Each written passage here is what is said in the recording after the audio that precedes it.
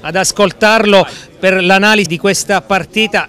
Sognavi, ti aspettavi un esordio diverso con la maglia del Pescara, è arrivata questa sconfitta, una brutta sconfitta? Sì, sicuramente sognavo un esordio diverso. Eh, purtroppo la partita è andata così, eh, abbiamo molto da recriminare perché probabilmente non ce la siamo giocata al massimo delle nostre potenzialità, però bisogna anche ammettere che c'era una squadra in campo, il Lecce, che il primo tempo ci ha messo parecchio in difficoltà. Dopo i due gol eh, è stato molto, molto difficile per noi cercare di giocare, giocare la palla. Difficoltà fisica o difficoltà tattica secondo te Giovanni? Eh, secondo me entrambe, eh, loro sembrava che andassero lo, il doppio di noi, è sensazione mia, eh, poi non, sensazione che si, si avvertiva dal campo.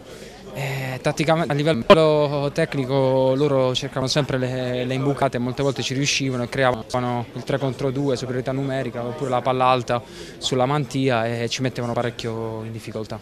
Parlavamo anche con Ciofani qualche istante fa, ennesima sconfitta in uno scontro diretto, ennesima sconfitta in trasferta, cosa c'è che non va? Eh, io sono arrivato da poco e ciò che posso dire è che a volte fuori casa, almeno le partite fatte fuori casa, sembrano differenti rispetto a quelle fatte in casa. Non so se sia una questione mentale oppure magari di, non lo so, è l'ambiente che, che, condiziona, però eh, giocare fuori casa comunque non è, non è, facile, soprattutto anche qui perché loro in arrivano da un 7-0 importante, erano molto galvanizzati, anche il pubblico che li spingeva, però eh, adesso rimbocchiamoci le maniche perché mercoledì c'è un'altra partita importante, inutile recriminare, andiamo avanti.